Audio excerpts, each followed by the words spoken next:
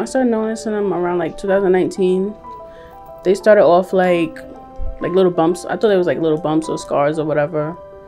Um, so I had them for a pretty while. Um, but then I noticed that it wasn't like just bumps because they would start itching and I would feel uncomfortable and it just started affecting my everyday life. I went to my dermatologist and I got it removed at first, but then it kept coming back.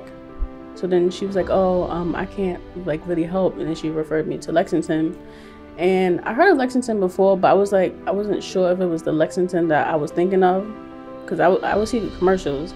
So I did my research. When I first came here, um, I met with Josie Vargas. She made me feel more confident enough about the surgery and we was moving forward and I was very excited because she was like really pushing for me. Literally every day in the mirror I just keep thinking God like thank God's off my face. Like I was very uncomfortable. Like I would always be like this and then now if I could um personally shake Dr. Jones' hand, I would just like I'm just very grateful. That's it.